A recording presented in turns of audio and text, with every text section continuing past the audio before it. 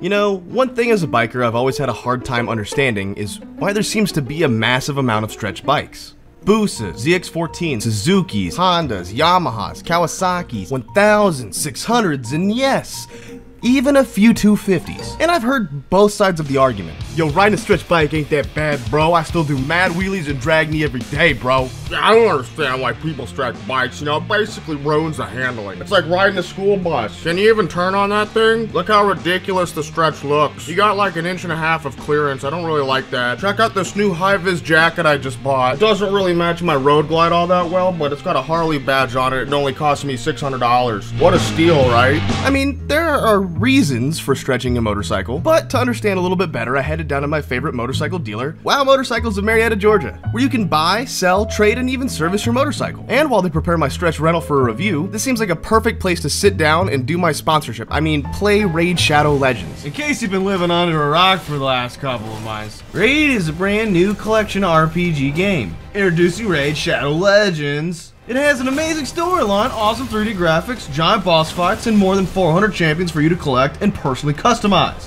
Hey, what are you doing, man? I'm doing an advertisement Oh, for uh, Raid Shadow Legends. oh, it's that game, right? Yeah, yeah, they, they enter- Here, you want to do it? Here, here. Oh man, this is cool. Yeah, no, but they're paying me though, so.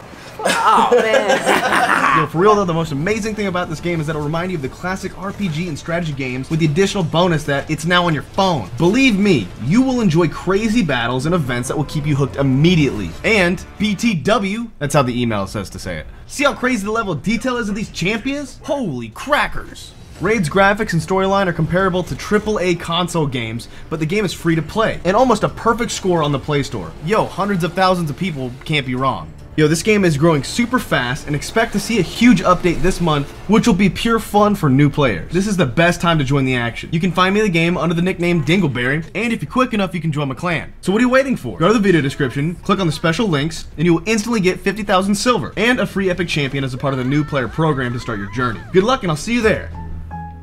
But this still doesn't answer a question. Why do people stretch their bikes? Let's figure it out. Now, before we jump into the why, let's talk about the when. Before people were throwing 4-foot stretches on stock Gen 1 Busas, a stretch meant the frame, not the swing arm. Yes, believe it or not, stretching started with choppers. People would extend the frame and rake or build longer forks to achieve the look that they wanted. This was known as up and out. The front sat way higher. People have been modifying motorcycles since they were invented, but this particular style didn't really catch until the 60s. Ah, yes. A timeless style. This was purely aesthetic and provided literally zero enhancements for performance. Actually, it made them pretty awful to ride. But that was the biker mentality. These were considered the real bikers before the standard was a $25,000 vibrating leather couch. Now don't get it twisted, these dudes were real riders. Easy Rider was an inspiration that helped give the industry a massive boost and pave the roads for many today. And honestly, the motorcycle industry needs passion like that more now than ever. But how does that tie into the stretches that we have today? Despite having completely different applications and styles, it's still the same premise. Aesthetics. People began stretching sport bikes uh, pretty damn fast. Now, I can't speak for the whole group of stretchers. Is that right? The general purpose of stretching a sport bike would be for performance.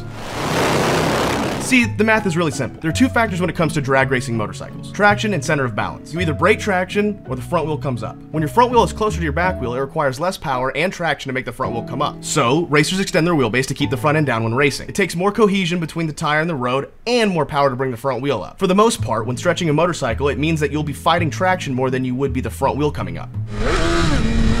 But that's not always the guarantee when a high horsepower bike hits a prep track. But like, we already we already knew that, right? But we all know more than one or eight people who have a stretch bike that doesn't need a stretch. When Kyle shows up in cargo shorts on his 05 600 with a 12 inch stretch, it's clear he's probably not here to race. I mean, he'll probably do a 120 flyby while you're minding your own business. But that's for him, not you. So why are most of these riders throwing on stretches for bikes that don't need them to fix a problem that they don't have? Why, it's quite simple, my dear Watson. They like the way it looks. Yep, it's just that simple. And you know what? I, I get it. I totally get it. There's something menacing about low and prowling. I think it's leftover primal instincts. It's a symbol of power. Why does a blacked out slam Corvette look menacing? Because it reminds us of something that we used to be afraid of, and it gives us control over the once uncontrollable. But yeah, it's because it looks cool. Anyway, moving on.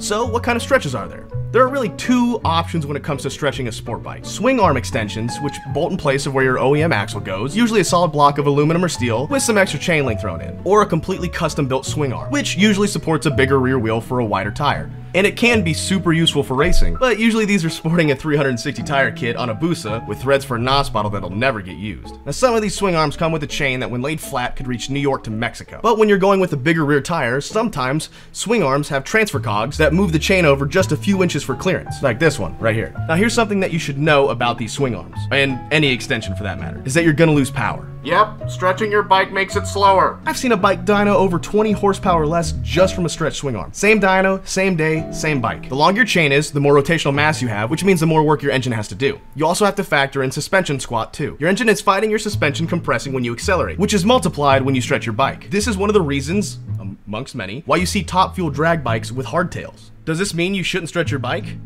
I'm asking for a friend. That's entirely up to you. If you're doing it just because you like the way it looks, I definitely throw some mods in there to counteract the negatives. But hey, that's just me. Maybe even switch up the sprockets a little bit. Personally, not that anyone's asking. I don't think I'd like to stretch my bike unless it was uncontrollable. My H2 makes about 240 wheel horsepower and does power wheelies at about a buck 40, but it's definitely still usable.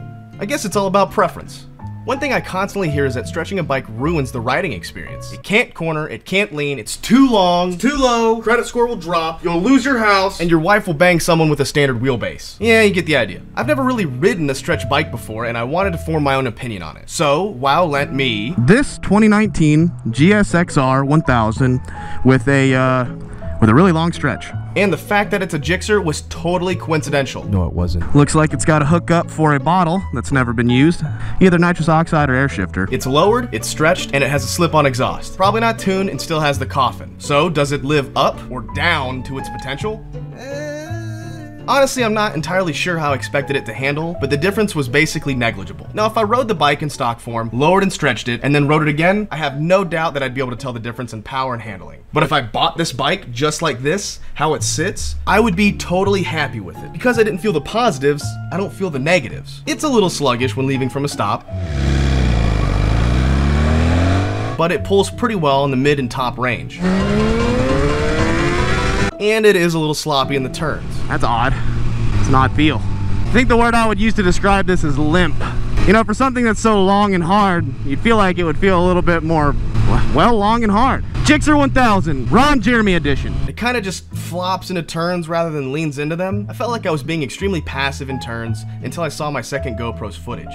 Despite riding super casual, it looks like I'm about to be the next Street Rossi. But I was still able to do low speed maneuvers and I never really found myself inconvenienced by the length. I mean, turning it around was maybe slightly more of a chore.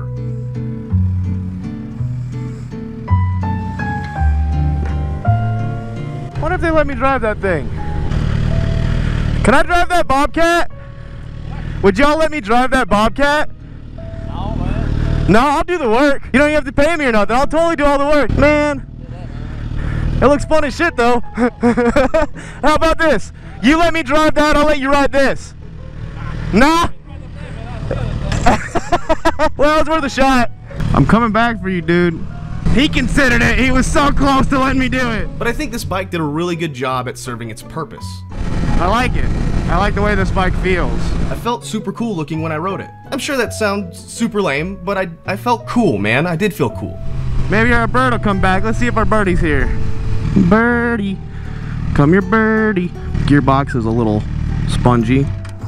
Bendy boy. That looks good. We'll use that. Mm -hmm. Huh. Okay. huh. What do you mean low battery? I charged this bitch. 1%. What?